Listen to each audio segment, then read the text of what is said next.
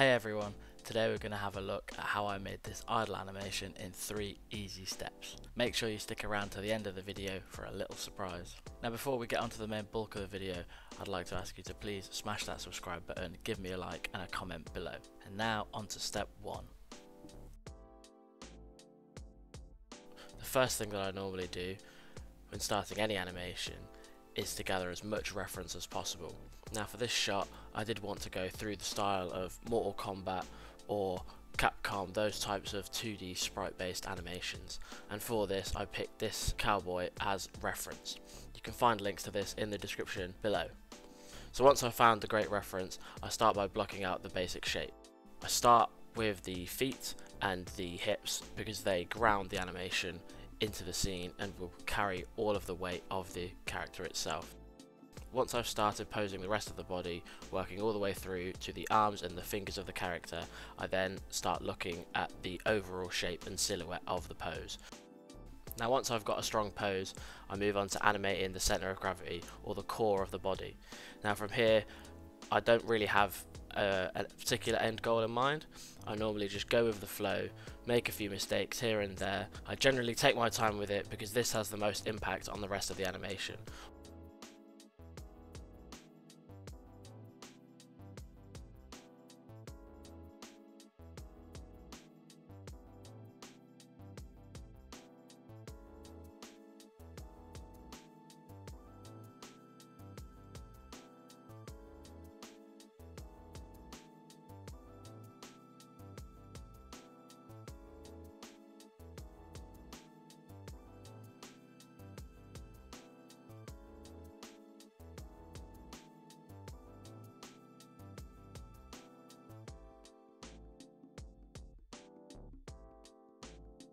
After I've got the core motion looking really nice, I then move on to offsetting the rest of the limbs, starting with the torso. This brings us on to step 2. Step 2 is using a process called space switching, something I first heard the great animator Richard Lico talk about in his SIGGRAPH presentation. In my opinion, it's a great talk and it gives a wide range of applications for this technique. If you want to learn more about how I use this technique, then let me know in the comments and I'll make a separate video about them. So to do this in Blender, you'd first create an empty, and then head over to the Object Constraint panel and create a copy location constraint.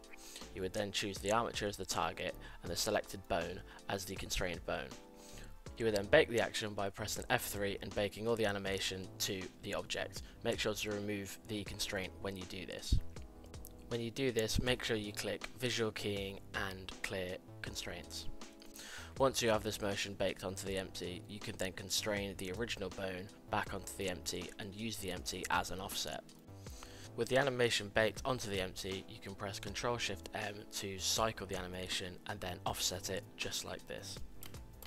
This process is the same for a rotational based offset, except you'll use uh, copy rotation instead of copy transforms.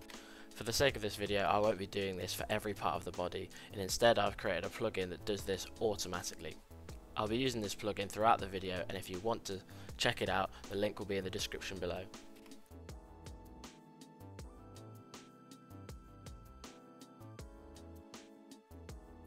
So with this idea in mind I work with the torso first.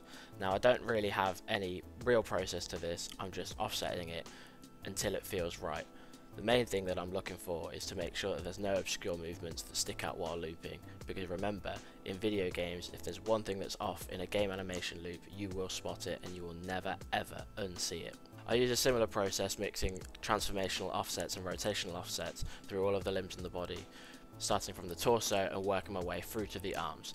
Now I don't use this process for the fingers, I actually use something different, which brings me on to step 3. Step 3 is a different story and it uses something different than space switching but a similar kind of idea in which I'm reusing animation. Now I do this almost every day. If I've already done an animation then I will reuse it again and again to save time. So I took some of the motion from the center of gravity control because I like the timing and I used it to drive the finger's rotation. I offset it at each knuckle and then once I was happy with that animation I then offset each finger accordingly. Starting with the index finger, I then moved through the hand and ended at the pinky finger. gradually making the offset larger and larger until I got a nice rolling of the fingers, as if the Mandalorian is itching to pull the trigger. I did the similar thing on the left hand, but kept the movement a bit more subtle, as I wanted this to just be a bit more of an overlapping motion rather than something that the Mandalorian was consciously thinking about.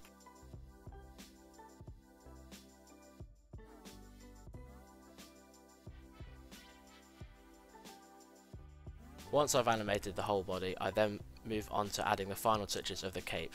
Again, the cape uses space switching, particularly rotational data, and I use this to offset not only from the top down to the bottom of the cape, but also the three controls controlling the left side, the right side, and the middle.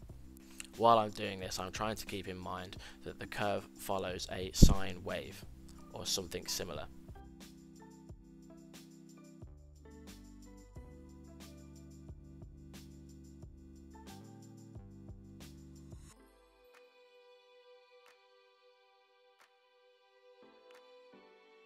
Now that all of the animation has been put into place, the final touches are adjusting the shader to make it look a bit cartoony, adding a stroke on the edges to make it look as if it was hand drawn, and then boom, this is the final shot. I really hope you enjoyed this video and I've got a lot planned for the future and for sticking around this long, here's a sneak peek of what's coming next.